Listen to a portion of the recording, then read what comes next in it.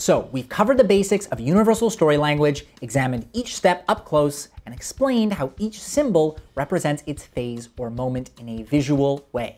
But there's actually a secret to USL that makes it more powerful than traditional models, and it has to do with how its steps are connected. So in this lesson, we're going to look at USL as a whole and discover how this model harnesses the power of symmetry to make sure your story is perfectly balanced.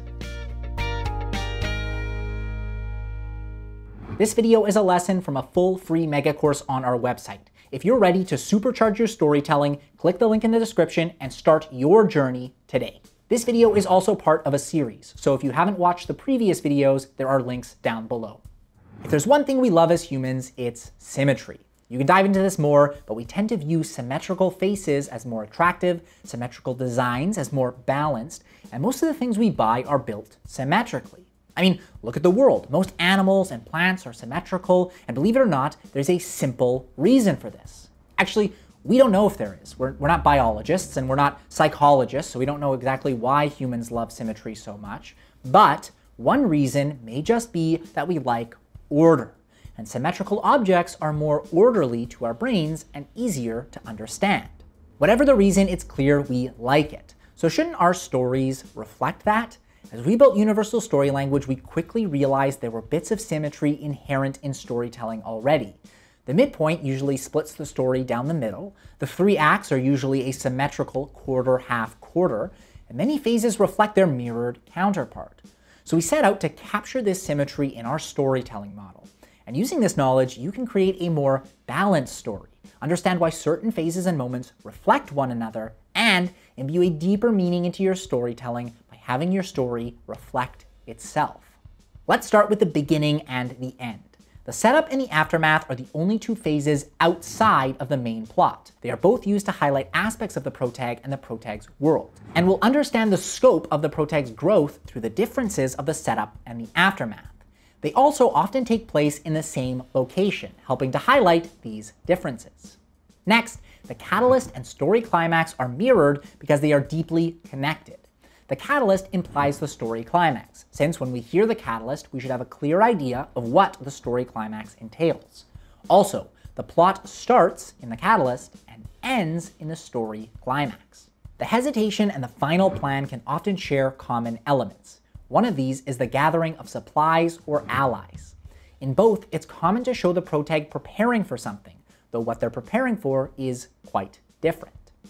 The outer gateway and the inner mm-hmm. gateway are both moments that separate the acts. They are also both clear decisions made by the mm-hmm. protag surrounding the goal. The outer gateway shows a clear commitment, and the inner gateway shows a clear recommitment. They also both showcase a major change. There is a major external change in the outer gateway and a major internal change in the inner gateway. The only phases that aren't directly mirrored are the testing and the rock bottom, except for that they both commonly contain a montage, though for very different reasons. Next, the moment of danger and moment of peril are all about the antag, or whatever the protag is up against. The moment of danger usually shows us a glimpse of the antag, which foreshadows the attack on the protag in the moment of peril. They are both negative moments and derive from the idea of pinch points, which help add conflict to your story. And lastly, the uphill climb and downhill fall are mirrored because the uphill climb shows a series of successes, while the downhill fall shows a series of failures. They both point in a clear direction, whether up or down, and are often some of the longest phases in your story. On top of the moments and phases mirroring each other, there are also two mirrored sections. The Catalyst Hesitation Outer Gateway and the Moment of Peril Rock Bottom Inner Gateway.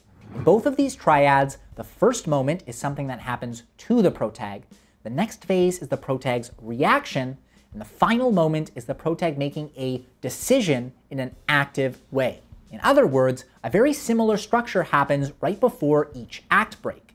An impactful moment, a reaction, and a commitment or recommitment to the goal.